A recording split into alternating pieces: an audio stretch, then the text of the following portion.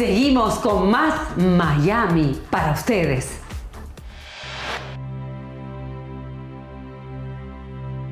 Swire Properties has been the creator of large-scale mixed-use developments and residential properties for 40 years, helping to transform Hong Kong's unique urban landscape. Our third mixed-use project is in Miami, where we've operated successfully since the mid-1970s. Brickell City Centre will be an international standard bearer for large-scale, intelligent and sustainable design.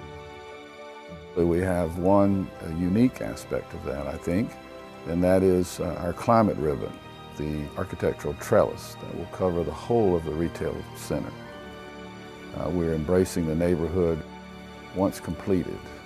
Brickell City Center will go from being in the center of Brickell to being the heart of Brickell.